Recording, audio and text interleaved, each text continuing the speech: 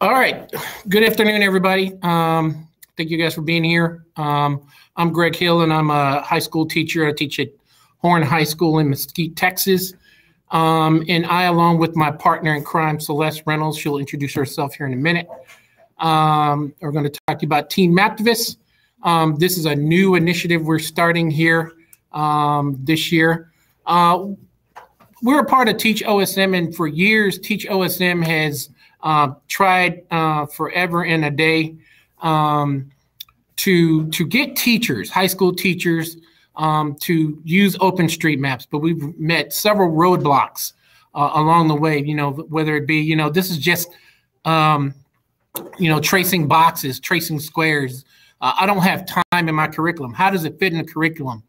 Um, so we together, she and I, uh, came up with the idea of this uh, kind of bottom up approach by by taking it to the students um, and allowing the students to take it and run with it um, to to create the next generation of mappers. So we came up with the name is actually uh, Celeste's uh, creation, OSM Teen Maptivist, um, because we want them to be activists in, in using OpenStreetMap to be activists in, in that regard. And so we started this spring in 2021 as a high school organization. Uh, again, to introduce students to OpenStreetMap. A lot of them have never heard. They're like OpenStreet who?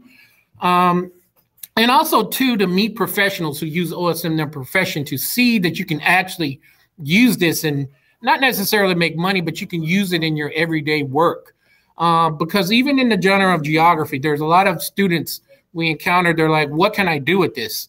Um, and there's we're we're trying to up the ante by promoting geographic education, uh, but at the same time promoting geography as a profession. So we further want to create opportunities for these students as well as their educators, because we do also invite uh, teachers to come in. We, we've had community college uh, professors come in um, to learn about OSM and become familiar with OSM um, and and and it, and create this pipeline. We've even had William, Willem, who was who spoke earlier, and Richard had sent students who spoke earlier as well from GW. Uh, their youth mappers organizations have have sent students that worked as guest mappers, um, and and we want to create a pipeline for youth, future youth mappers and also future geographers. So Celeste uh, teaches in Mashpee, Massachusetts. Um, and I do want to publicly give her credit because she is the reason I'm I'm even involved with OpenStreetMaps. Um, she get been pestering me for years and years. Hey, Greg, you got to try OpenStreetMaps. I'm like, OpenStreet what? Um, and you know, it's um, something that um, that she really it, is inspired me and has inspired a lot of other teachers in doing. So um, you know, we've what we've done, we've hosted four mappy hours with guest mappers. We've had people like Erica Hagen.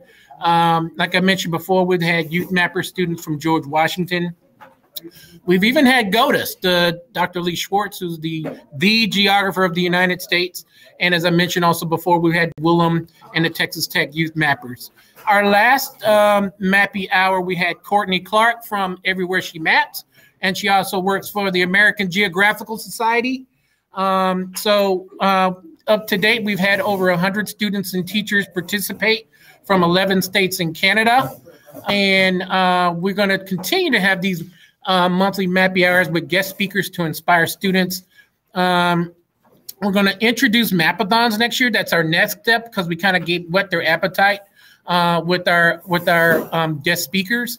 Uh, and eventually, we want uh, schools to create chapters um, and again create a mentorship program between youth mappers and other organizations um, and, and the high school chapters, um, which we hope to lead to internship opportunities for high school students who become advanced mappers and kind of put some uh, kind of codify um, you know this eventually. And so uh, we look forward to you know maybe some of you guys out there in the audience maybe being one of our guest mappers.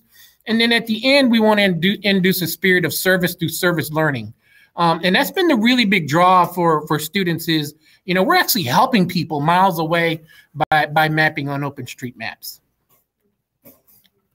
Thanks. And so there's our our, our um, email if you want to contact us, you want to work with us, partner with us, please reach out to us. We we'd love to talk to you. We'll be at the table at the end, um, and hopefully Celeste can join with our audio.